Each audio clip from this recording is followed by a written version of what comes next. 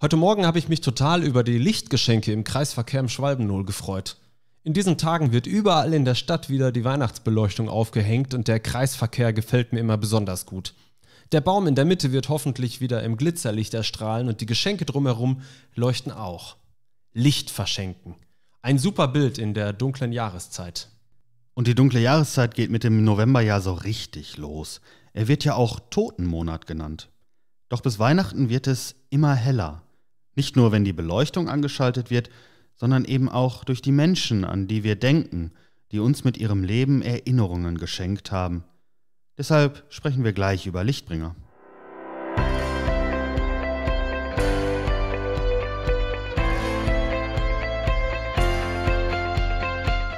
Bugwelle, dein Podcast über Aktuelles aus dem Pastoralverbund Attendorn.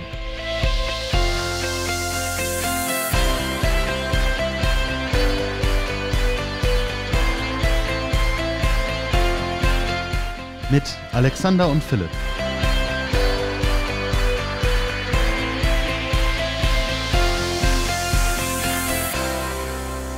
Schön, dass du eingeschaltet hast. Spannend, wie sich das gerade wandelt. In der Gesellschaft nimmt die Bedeutung des Novembers als Totenmonat ab. Gleichzeitig nimmt die Suche nach dem Licht aber zu. Und Philipp hat vor einigen Wochen das Bild der Lichtbringer mitgebracht. Mir hat das sehr gefallen, weshalb wir gleich mit dir darüber sprechen möchten. Doch zuerst hören wir einen Impuls von Schwester Maria Thekla.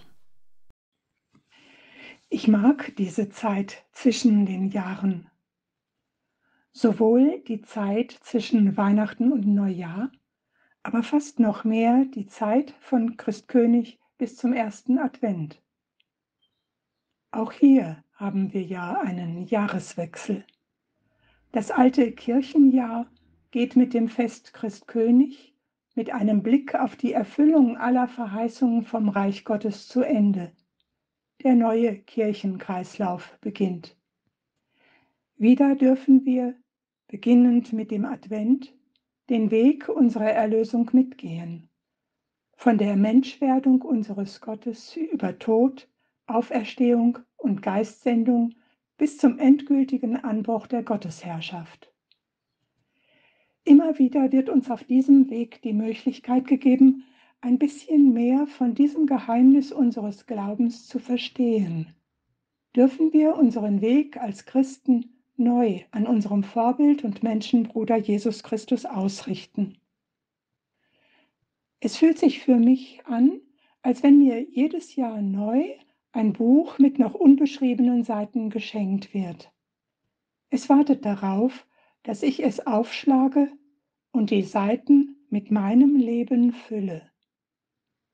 Für mich ist das immer wieder neu ein Zeichen der Hoffnung und ein Grund großer Freude und Dankbarkeit. Mir fiel in den vergangenen Tagen ein passendes Gebet aus einem Jahreskalender in die Hände.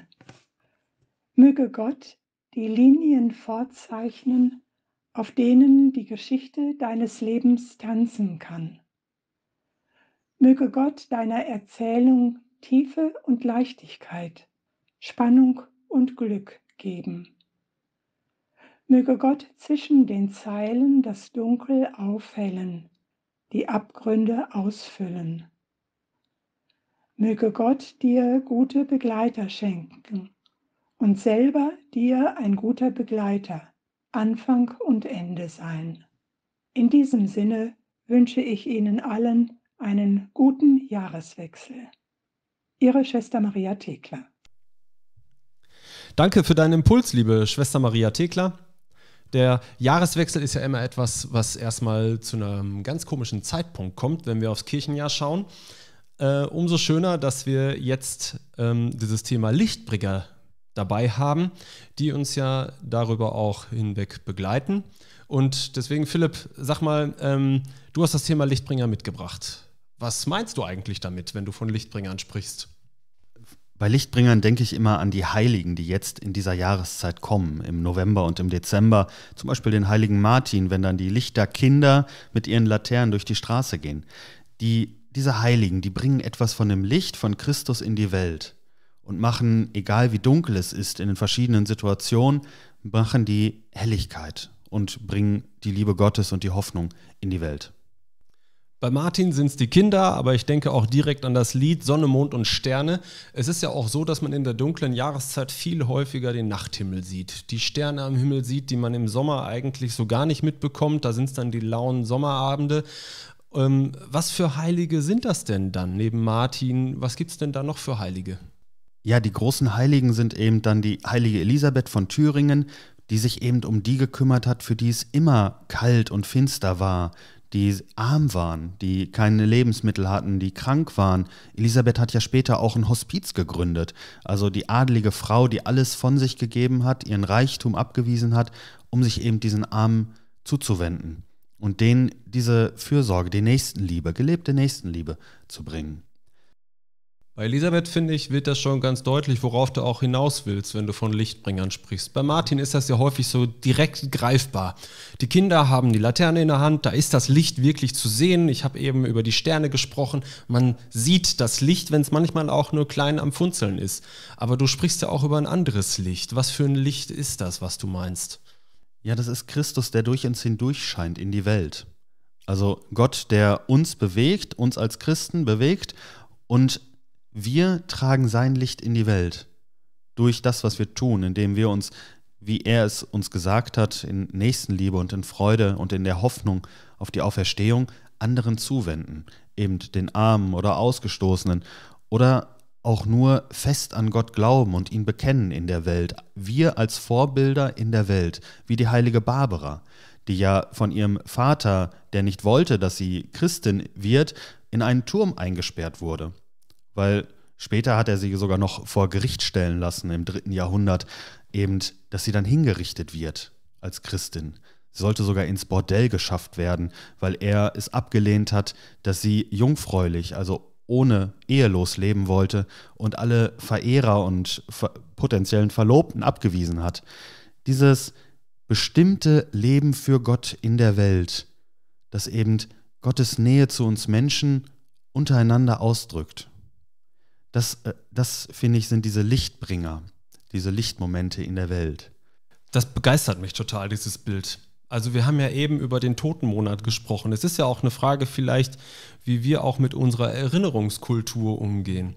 Und ich sag mal so, was bleibt denn von den Menschen, die von uns gegangen sind? Das sind ja natürlich die großen Heiligen, die wir jetzt gerade nennen, die wir jetzt in den nächsten Wochen begehen.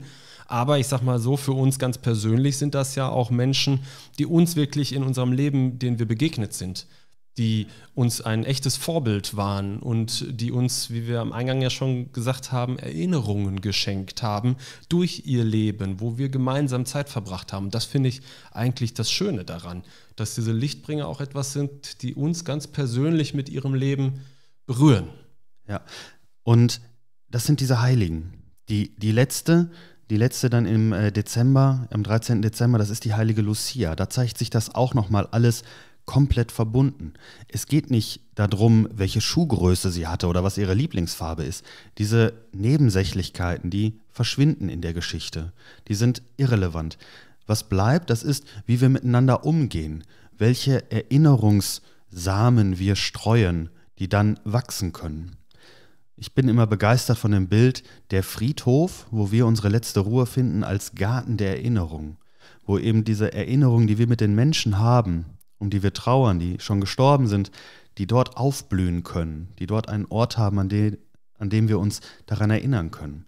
Und die Heiligen sind für mich eben auch diese Erinnerungsträger, diese kleinen Samen, die mir zeigen können, ja, dort hat Gott, da hat Jesus durch Menschen in der Welt gewirkt und hat Erinnerungen geschaffen, wie es ist, wie die Welt sein kann, wenn wir füreinander einstehen, wenn wir diese die gelebte Nächstenliebe wirklich vollziehen.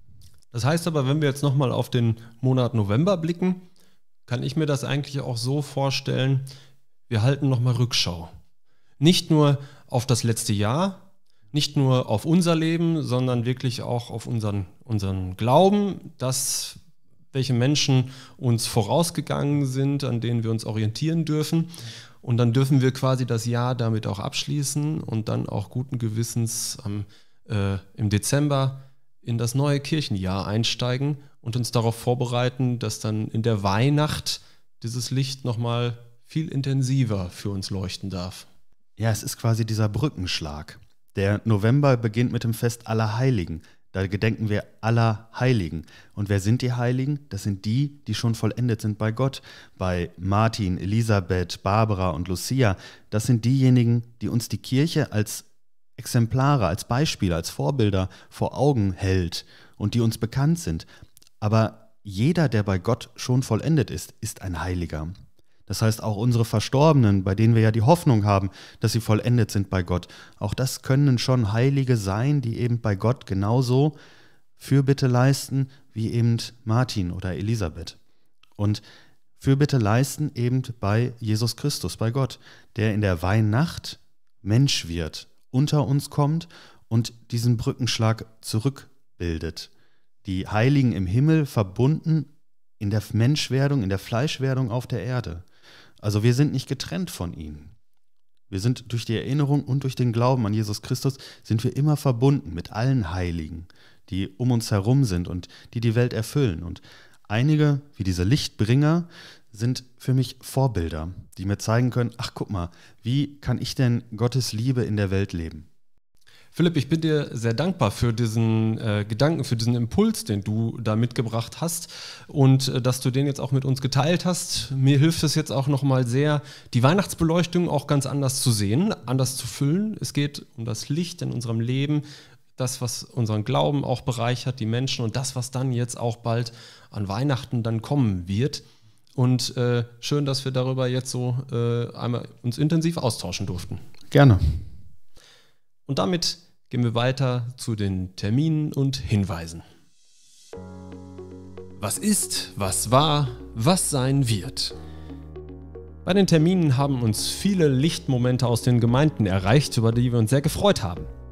Beginnen wir mit dem 11. November mit den Martinsumzügen. Auf unserer Internetseite findest du eine Übersicht der Termine, wann und wo Umzüge und Andachten stattfinden. Ein Basteltipp dazu, auf der Kinderseite kannst du eine Laterne basteln.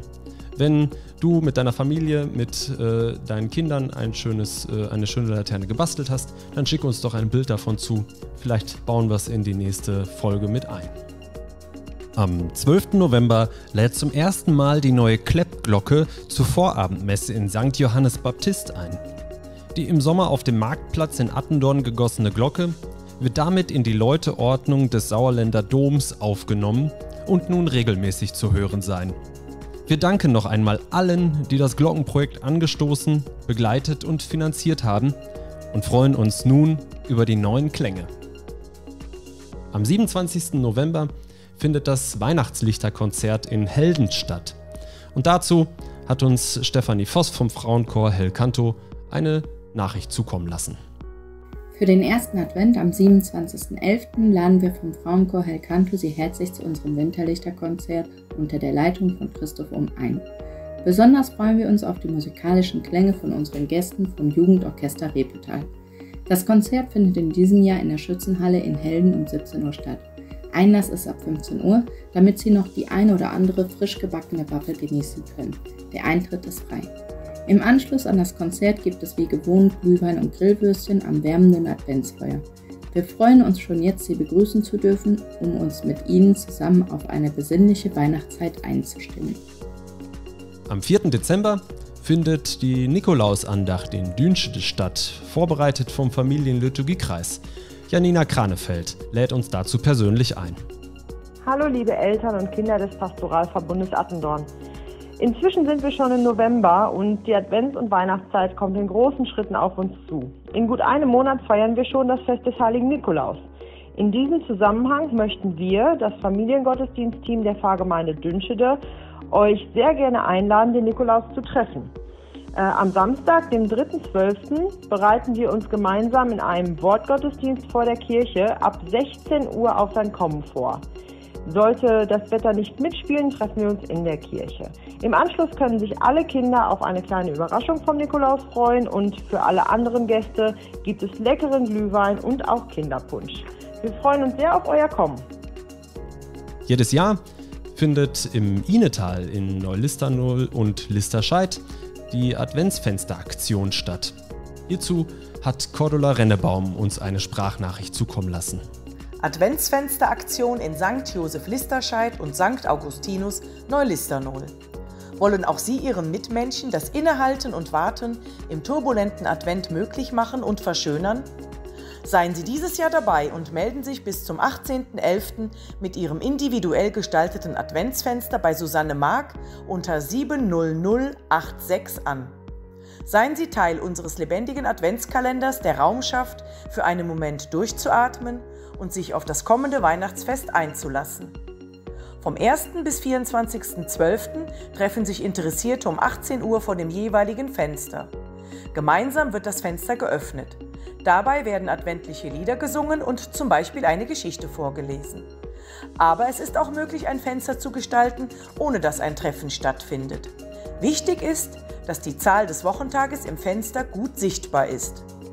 Die Fenster sollten nach dem Öffnungstag in der Zeit vom 1.12. bis zum 31.12. täglich von 17 bis 21 Uhr beleuchtet werden.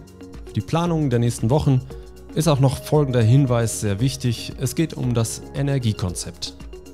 Und das hatten wir schon im Podcast angekündigt, dass es nun ein Heizkonzept im Pastoralverbund gibt, über den wir informieren wollen.